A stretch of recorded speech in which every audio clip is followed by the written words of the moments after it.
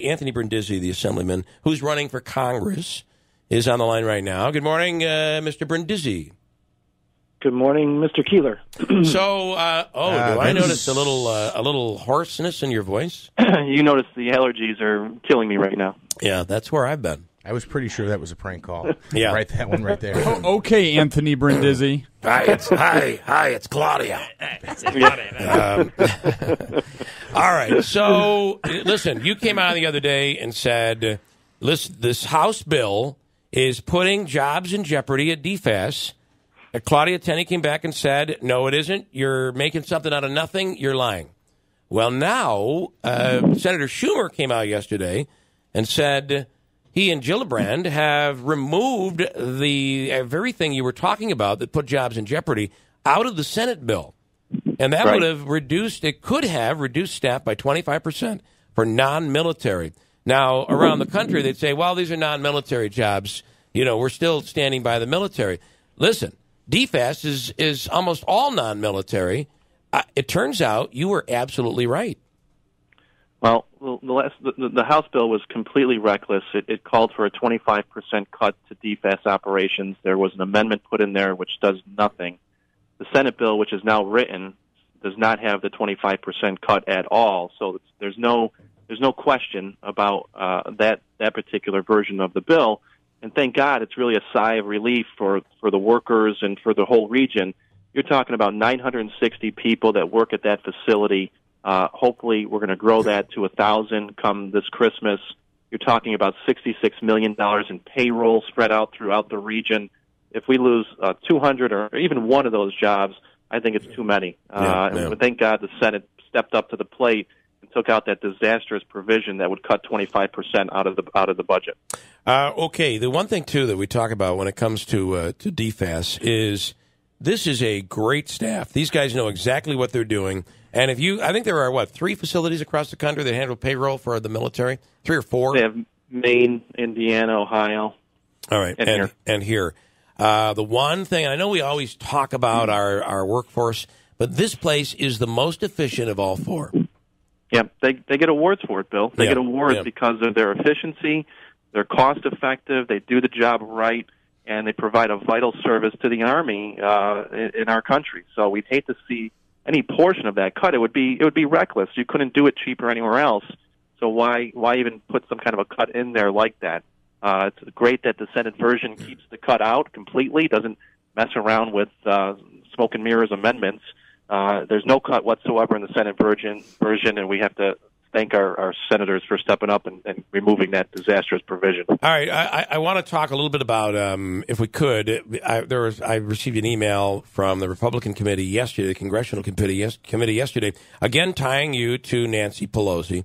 Um, word is that um, that Claudia Tenney is going to be bringing up here uh, both Pence and President Trump. That'll be making an appearance. How do you handle that with the DNC? And because uh, you've kind of, I don't want to say you've denounced Nancy Pelosi, but you said that you wouldn't, uh, you wouldn't support her as the minority leader. I, I won't I won't support her. Uh, I've said that that I think it's a time for a change in leadership on both sides. They they're going to continue to try and tie me to her as much as they can, but I think I've always shown during my time in the assembly, never been afraid to stand up against Democratic leaders in this state. I won't be afraid to do it in in Congress, and that's what you really need. You need a representative who's not a rubber stamp, someone who can work with the president to get things done when it's going to benefit the region that you're representing someone who's not afraid to stand up against the president when the president is doing something that may hurt the, the, the constituents you represent. That's something I've always done in the state assembly, something I will do as a member of Congress, uh, because we have enough rubber stamps right now in Washington, and we have too many extremes that are driving the conversation. We actually need some folks there who can get things done. Uh, I want to ask you. Uh, this is. Uh, I want to put your uh, assemblyman hat on, and uh, and just for a moment, what do you think of this uh, this race for governor? You have Molinaro out there calling for term limits, and you know Molinaro. Uh, Yep. This Cynthia Nixon seems to be driving the uh, driving the governor further to the left. And um, I, is this governor vulnerable right now? Yeah, it's, it's hard to say. I, I, there, who knows? There may be another name or two that pops up before this thing's all over. Uh, we'll see what happens, but the people will have a chance to decide come November. Um, my, my my focus is on trying to win this congressional race. We're finishing out uh, the next couple of weeks in session in Albany. There's important pieces of legislation I'm trying to get passed that will will benefit this region uh, over the next two weeks, uh, and then focus uh, on the campaign trail after that. But uh, there'll be plenty of time for people to talk about the governor's race, and uh, I'm sure I'm sure the silly season has just begun. Uh, let me ask you this: one of the things the governor governor proposed, I, I'm told this is just an idea; it's not even a bill yet. It's what the governor is proposing: is that teachers be allowed to uh, spot out a student that might that they feel might be dangerous, and report them, and have the guns taken away from the family. Well, I, I, I haven't heard that particular provision yet. Uh, I, there are there is talk about other types of laws uh, that if someone is a threat that they are exhibiting some kind of extreme risk, uh, a family member could petition the court uh, to Well, this have is a, firearms this would be a removed. this would be a teacher, not even a Well, court. This I would think be a, I think they had mentioned that it may be an extension of the police officer and family member law that currently exists. Yeah.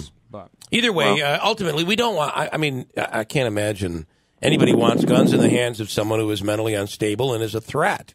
At the same time, we have to we, we, we have to consider people's constitutional rights. you have to respect due process first and foremost. Uh, and if there's not due process involved, that's going to be a problem uh, trying to get that that kind of a law passed. But yeah, yeah. uh, you know, the the issue with with education and what we should be doing is investing in more resource officers, investing in more mental health counselors, social workers in the classroom. I know that there are school districts in our region that have to share social workers between two and three different buildings. They're literally managing hundreds of cases, trying to stay on top of all the issues that they have to stay on top of yeah.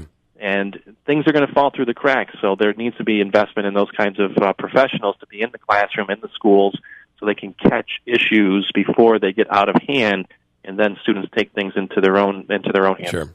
All right, we appreciate the time. Enjoy the weekend. Got some uh, again. Some really nice weather on the way. Yes, thank goodness. Thank goodness. All right, Anthony Brindisi, thanks so much. All right, take care.